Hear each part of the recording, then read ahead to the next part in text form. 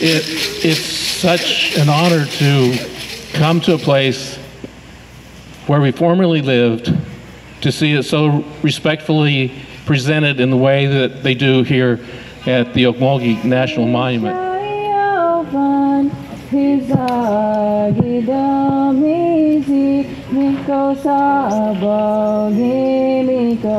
The attendance of the nation, and for me in particular here this year, is that uh, we were invited to come.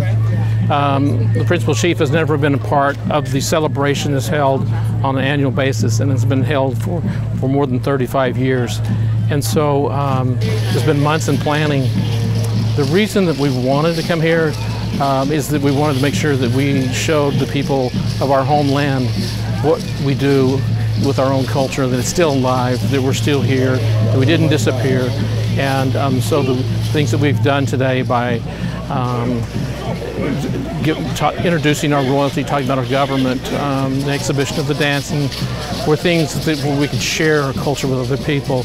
Uh, we also brought down uh, staff from the Red Stick Gallery so that we could actually sell some things that are produced by um, Muscogee artists. So, but, but most importantly, I think the purpose is probably for us because I think everybody who has come here today, we probably have 30 people here, um, really feels a connection to this area. And we had occupied this area uh, for the past 500 years, and it's been documented this is this is exclusive Muscogee land here. So we're very pleased to be here. It's a very nice day. Uh, my name is Lonnie Davis, and I'm the Cultural Resources Specialist here at Ocmulgee National Monument, but I'm also today as uh, functioning as the MC for the Ocmulgee Indian Celebration.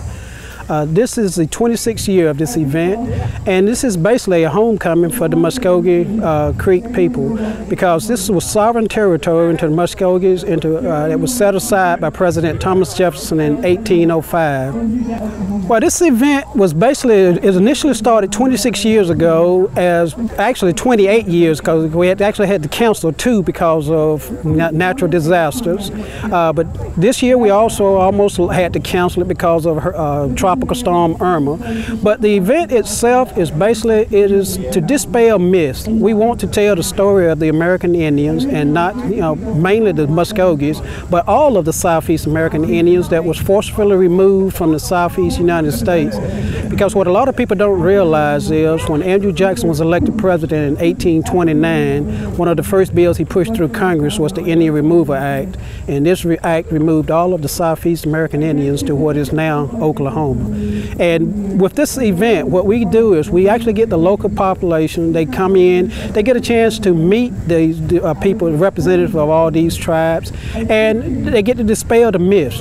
Because a lot of times people have a tendency, Hollywood has just you know, basically messed them up because they automatically assume that all Indians, you know, lived in teepees, they all rode horses, but yet they don't realize that all of these are very distinct individual cultures, and this is a this event is actually a chance for these uh, people to actually get to meet uh, people of these different cultures and different groups. So basically dispel those myths. Okay, my name is John John Brown. Um, we came down here, we brought a stomp dance group to do an exhibition dance and to kind of spread a little bit of that with the culture, yes. This is almost like Alabama. I mean, it's a, it, I, I don't want to say it's a homecoming, but, but for what has happened and for a chance to come back and see and be a part of it, I mean, there's a, there's a strong feeling when you, when you start crossing into these states. And so for this one, this was another place that I wanted to see. Um, the chunky stones that I'm getting research on, the canoes that I'm getting research on, uh, even the bows and, and, some of the material that they have. Um, the first thing this morning, I found a buckeye tree.